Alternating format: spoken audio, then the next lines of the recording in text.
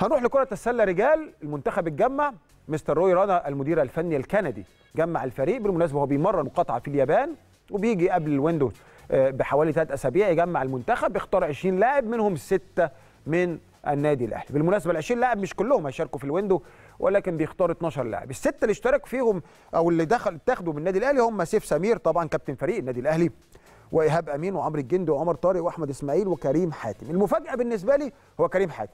وكريم حاتم إحنا هنا في برنامج الأبطال واستوديو الأبطال وإحنا بنغير.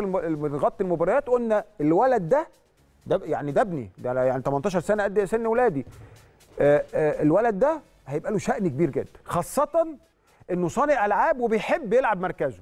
يعني هقول لكم حاجة مؤمن طارق خيري وهو صغير كان صانع ألعاب ولكن لما طلع بقى جارد وبقى جارد حدوتة. نفس الكلام محمد خيري كان صانع ألعاب ودلوقتي بقى guard و guard حدوتة. يعني حاجة سوبر. ولكن كريم حاتم لما كان عندي هنا وعلى الترابيزة دي سألته قلت له أنت عايز تقلب guard؟ تقلب shooting guard أو حاجة؟ لأن مش كل واحد بيطلع. أنا وأنا صغير كنت صانع ألعاب. لما كبرت قلبوني guard. صانع الألعاب اللي بيحب المركز ده بيتفوق فيه. سألته أنت عايز تقلب؟ قال لي لا أنا بحب المركز ده. فلما قلت له كده قلت له أنت إن شاء الله هتبقى point guard منتخب مصر. والكلمة يعني روي رانا ما كدبهاش واستدعاه أصغر لاعب في منتخب مصر عن 18 سنة. والله زي ما بقول لكم دي مفاجأتي. أتمنى إنه يكمل ولكن الموضوع ممكن يكون صعب. لأن هو طبعا آه، آه، يعني ولا وأنا ما بستبعدوش على فكرة. ممكن يكون روي رانا ليه وجهة نظر.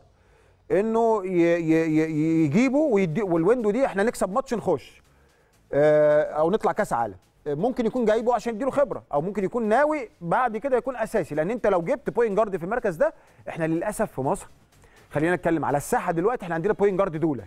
دولة رقم واحد. هو كويس ولعيب خلينا نتكلم بأمانة هو رقم واحد دلوقتي كمصري في منتخب مصر دولة point guard اتحاد اسكندري محتاجين واحد معاه دولة سنه صغير ولكن دولة مش هيتحمل عبء ماتشات قوية في أفريقيا ثلاث أربع ماتشات ورا بعض. لازم يكون معاه حد وصغير اختيار جيد من روي بس أنا هنا عندي comment في لعيبة تانية تستاهل تنضم في النادي الأهلي. يعني أنا برضو عندي يعني كومنت شوية على استبعاد عمرو زهران بالرغم إن عمرو زهران يمكن مستواه قل شوية بس مش قل بالشكل ان هو طب ايهاب امين ريح شوية ويستعاد مستواه تاني. يعني يعني عمرو زهران المفروض خلاص يبقى من اعمده منتخب مصر ما ينفعش يطلع بره. أنا أنا وجهة نظري كده. النهارده احمد اسماعيل فعلا اختيار وإحنا قلنا الحلقة اللي فاتت أو قلنا التجمع اللي فات قلنا أحمد اسماعيل لازم يكون موجود في المنتخب وقد كان. عمرو زهران لازم يخش. كان لازم يدي المؤمن خيري. مؤمن خيري ماشي كويس. كان لازم مؤمن خيري يخش. هيخش. أنا بقول لكم مؤمن خيري هيجي عليه الدور يخش.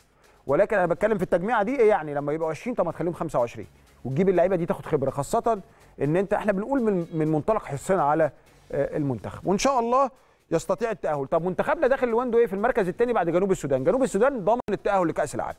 منتخب حدوتة. جنوب السودان عاملين منتخب بيحكي عنه العالم كله مش بس أفريقيا. إحنا في المركز الثاني ثالث ورانا السنغال.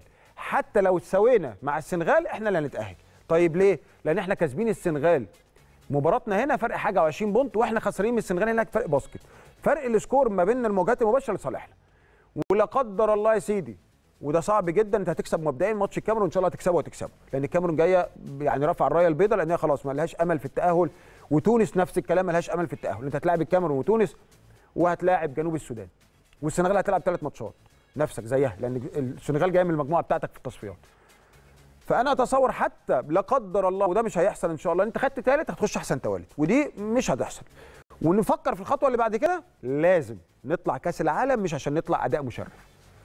نطلع كأس العالم نكسب لنا ماتش في المجموعة. ننشن على فرقة ونروح نكسبها. لو ما عملناش كده يبقى محتاجين شغل أكتر. وهنتكلم على الموضوع ده باستفاضة في وقت تاني.